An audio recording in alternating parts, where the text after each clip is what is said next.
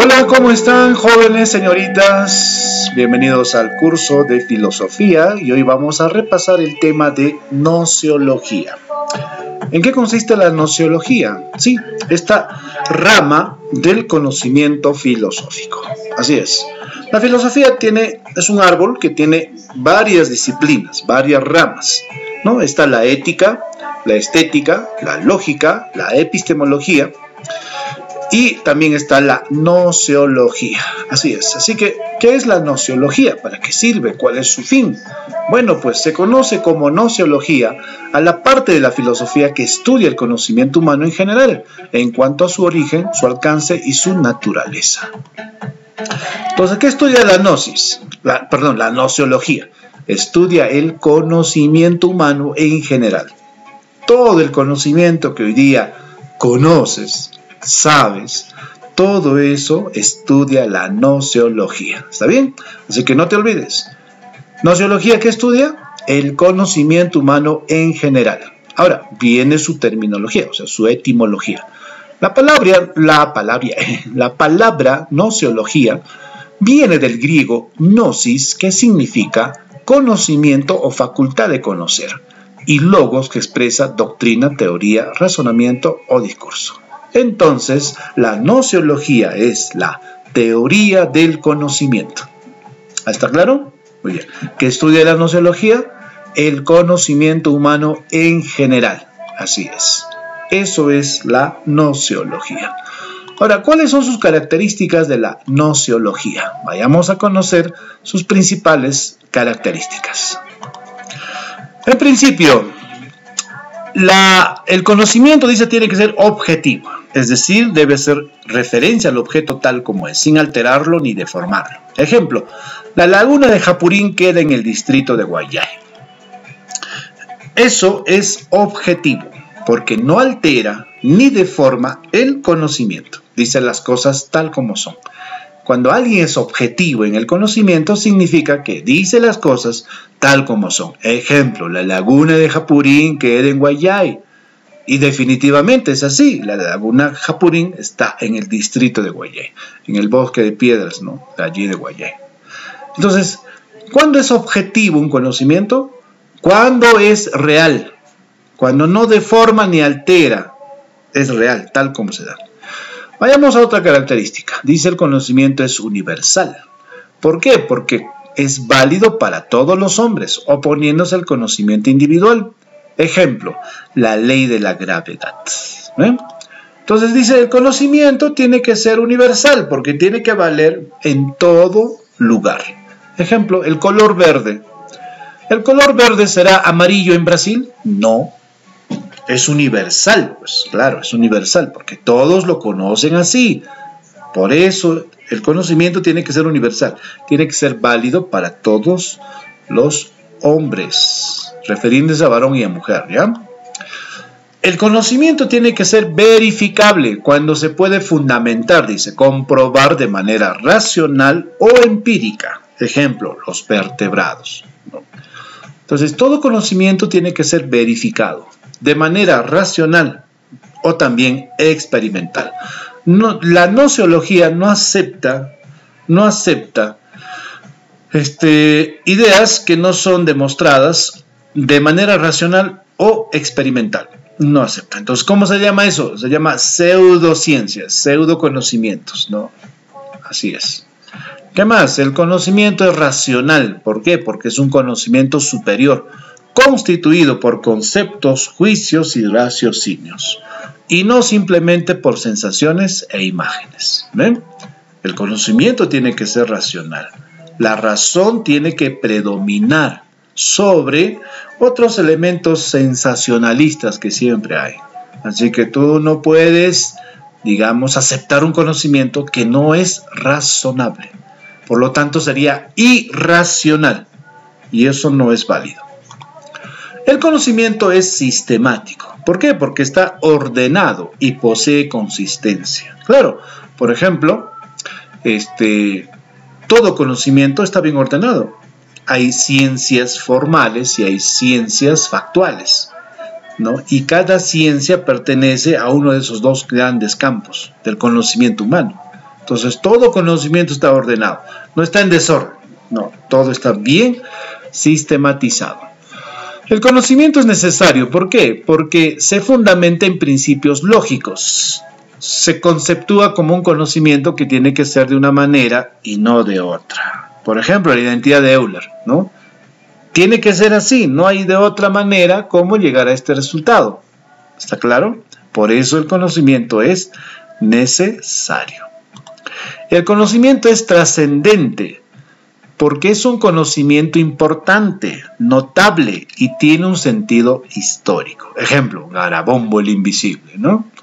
Todo conocimiento tiene que ser trascendente porque va a durar más allá de su tiempo. Todo lo que hoy día conocemos, jóvenes señoritas, es producto de un largo proceso histórico y que ha quedado allí y que seguirá todavía allí. ¿Por qué? Porque es trascendente. Sea en cualquier ámbito de la ciencia, sea la ciencia de la comunicación, del lenguaje, la matemática, la historia, la medicina, la química, la biología, la antropología, la arqueología, la sociología, en fin, todo conocimiento tiene que ser trascendente, tiene que servir para la humanidad. Y el conocimiento también eh, es general porque es una concepción del mundo, ¿no? Y que trata los principios primeros y generales de la existencia, claro. Por eso el conocimiento tiene que ser general.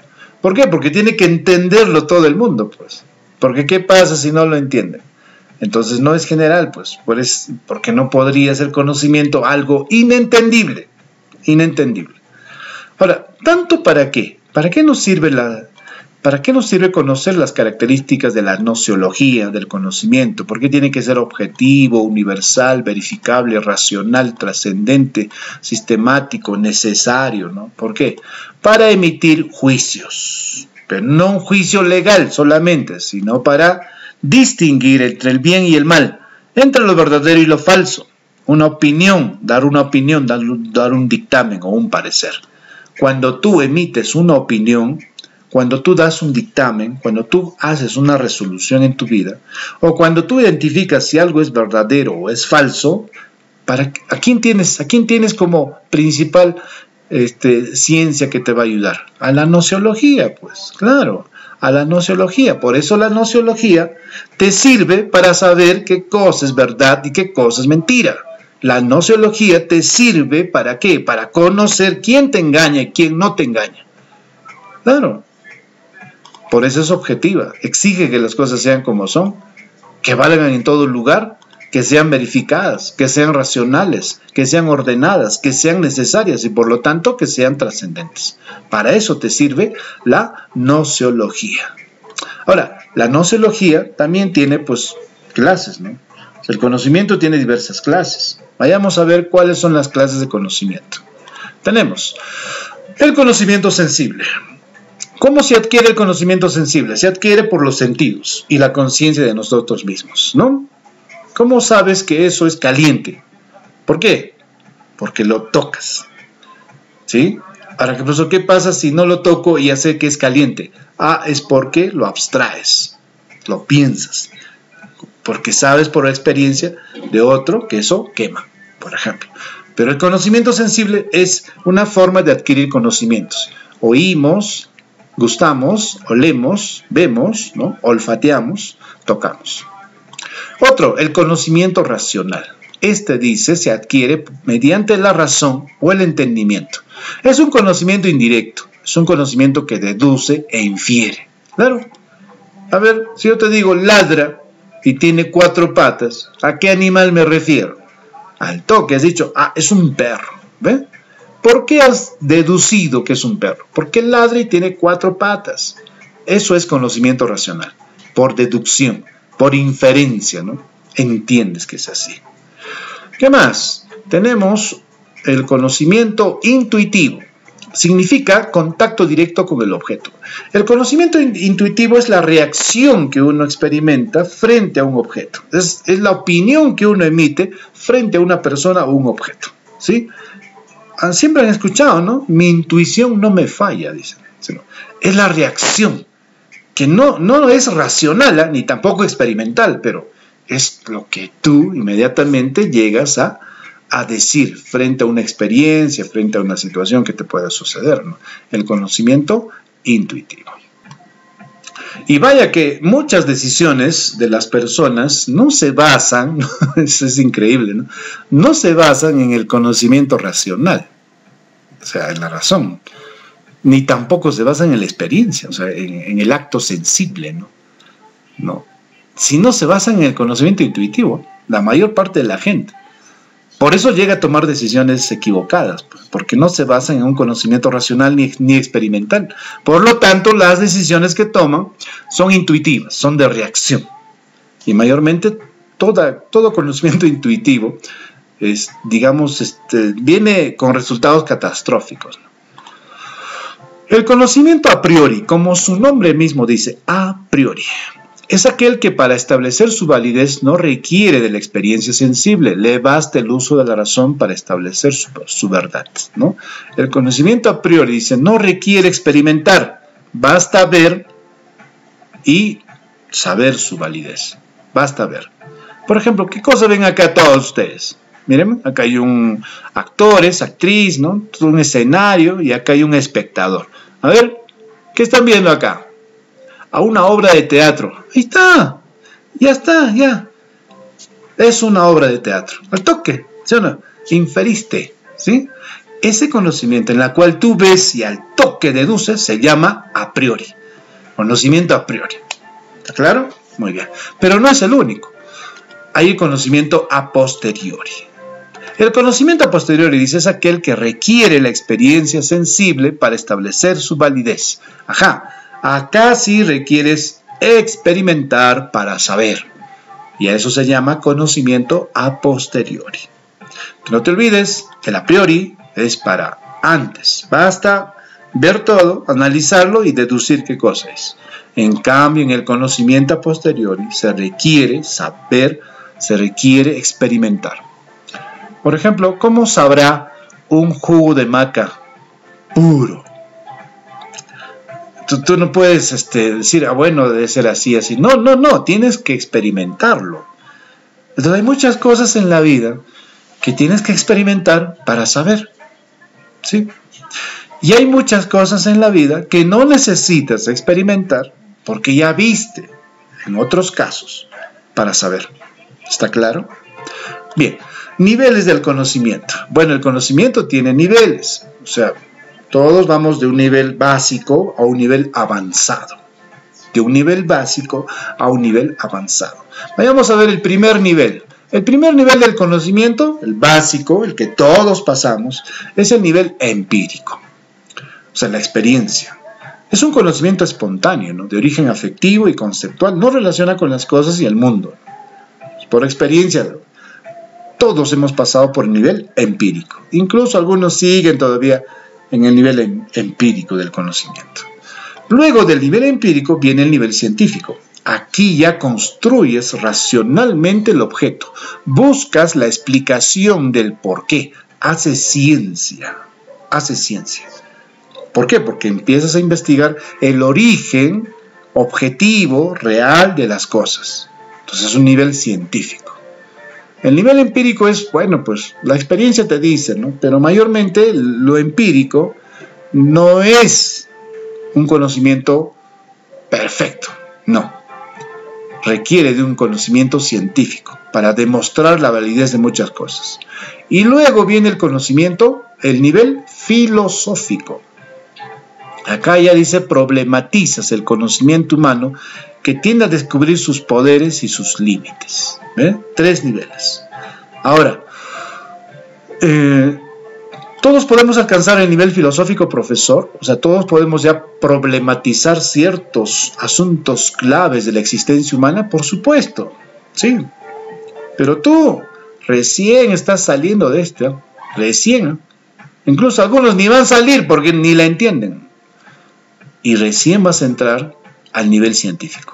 Algunos sí ya están, algunos de ustedes ya están en el nivel científico porque consideran algunas, algunas actividades ya de manera científica lo hacen, ya de manera racional lo hace. Y vaya, pues ya cuando estés en la, termines cuarto, quinto, ¿no? Estás entrando al nivel científico. A la universidad o al instituto ya entras con nivel científico, ¿no? No puedes tú estar con, la, con el nivel empírico, ¿no? Que sí es necesario, por supuesto, ¿no? Pero tienes que mezclar el, el asunto científico. Y cuando ya hagas tu maestría, hagas tu doctorado, allí entras a un nivel filosófico ya, de problematización del conocimiento. Ahora, todo esto, todo esto, todo tanto, ¿para qué? ¿Para qué? Ah, para encontrar la verdad, pues. Claro. Todo eso es para encontrar la verdad. El término verdad se usa informalmente para significar la coincidencia entre la afirmación y los hechos. ¿Qué es la verdad? La afirmación entre lo que uno dice y los hechos. ¿Ve? Esa es la verdad. Por eso la verdad es objetiva. El conocimiento tiene que ser objetivo. ¿sí? Ahora, cada uno tiene su criterio de verdad, ¿no? Porque no es suficiente que un juicio sea verdadero es necesario además tener la certeza de verdad, porque puede ser verdadero desde la razón y no concordar con el objeto. Por ejemplo, esta fotografía es de las calles de Cerro de Pasco, pero mira la fotografía. ¿De qué época crees que sea? ¿De 1960? ¿1930? ¿1880? ¿Eh? Entonces tú para que llegues a ese, acercarte a la fecha de cuál sea esta fotografía, pertenezca al tiempo esta fotografía, entonces utilizas un criterio de verdad, que desde la razón puede ser verdadero, puedes argumentar, mira, la gente acá utiliza ya ponchos, hay faldas, este, hay una carretera, ah, acá hay una torre, eso, no, eso no pudo haber existido en 1880. ¿Ve? Ya tú vas, desde la razón ya tú puedes analizar y dices, mm, yo creo que es de 1930, puede ser. Porque, bueno, pues se supone que esta pista es para carros. Pues para 1930 ya había carros en Cerro de Pasco, autos. Pero antes de 1930, antes de 1900 había solamente, esto, o sea, los caminos se hacían para los burros, para las mulas, ¿no? Que llevaban los minerales. Pero acá ya no hay, pues ya no hay mulas ya. Entonces, no hay en el camino, ¿ves? Ni uno. Ah, entonces esto es 1930 aproximadamente. No podría ser 1950 porque para 1950 algunas de estas calles ya no habían porque ya el Tajo Abierto había comenzado la producción de Tajo Abierto, destruyó muchas calles. ¿Ve? El criterio de verdad que tú utilizas, utilizando la razón, no siempre puede concordar con el objeto, porque al final, cuando ves ya la fotografía entera, puedes darte cuenta que, que no, no, que no es así. Por eso que, jóvenes, señoritas, la verdad es tan relativa, ¿no? Y que la ciencia de la nociología nos ayuda a acercarnos a la verdad, a tenerla cerca, a veces totalmente y a veces todavía rasguñamos la verdad. Por eso aquí hay problemas, pues, hay problemas. El conocimiento tiene ciertos problemas. Un principal problema es el dogmatismo. El dogmatismo plantea que si es posible, dice, afirma que el sujeto puede captar las cualidades del objeto sin alterarlo. Para eso existía un representante de Descartes. ¿no? Una persona puede conocer un objeto tal como es. Eh, los dogmáticos creen en algo y ya se cierran en eso. Ya no, dan posibilidades a otras ideas. Ese es el problema de los dogmáticos. Aceptan un conocimiento y nunca más cambian de parecer. Con eso, con eso mueren, con esa ley se muere. ¿no? Con su pensamiento ahí, no cambian. Esos son los dogmáticos. Otros son los escépticos. Estos dicen, no es posible el conocimiento, no niega actos del conocimiento, no solamente, sino que rechaza los juicios productos de este acto. los escépticos son aquellos que niegan toda posibilidad del conocimiento, no aceptan el conocimiento. Los escépticos radicales, peor, ya, ellos no aceptan nada, ni pensamiento racional, ni conocimiento sensorial. Para ellos no existen juicios válidos porque todo cambia de eso. El escéptico radical no cree ni en él mismo, ni en ella misma. ¿Te das una idea de que hay gente así? Por supuesto, escépticos radicales. También tenemos a los escépticos religiosos o llamados agnósticos. Declaran inaccesible el entendimiento humano toda noción de Dios. Un agnóstico es aquel que rechaza la existencia de, de un ser divino. Eso es un agnóstico. ¿Está bien? Ok. Ese es otro problema, ¿no? Los relativistas plantean que sí es posible un tipo de conocimiento, pero en razón al grupo social o cultural, y niegan un conocimiento universal, ¿no? Para los relativistas, dicen, los conocimientos se van cambiando y de acuerdo a la zona donde vives, a la cultura donde estás, van cambiando. No todos los conocimientos son universales, dicen los relativistas. Y los criticistas, ¿quiénes son? Plantean que el conocimiento es posible, pero dentro de ciertas condiciones. Tiene que haber ciertas condiciones para que exista un conocimiento, si no, no es posible. Y los racionalistas, ¿no? Esos los que se encierran que solo la razón no es la única fuente de conocimiento, negando a la experiencia. Y vaya que a tu edad ya tú sabes, ¿no? De que el conocimiento se logra mediante la razón y mediante la experiencia. El conocimiento tiene su esencia. ¿Cuál es? A los idealistas. Defienden que el conocimiento es la proyección del sujeto. Sí. ¿Sí? Entonces, cuando tú te idealizas y dices, no, voy a hacer esto, voy a hacer el otro, entonces eres un idealista.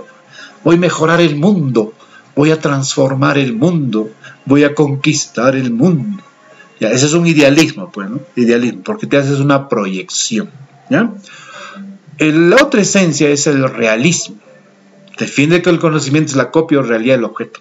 Que la realidad te cambia, que el objeto te cambia.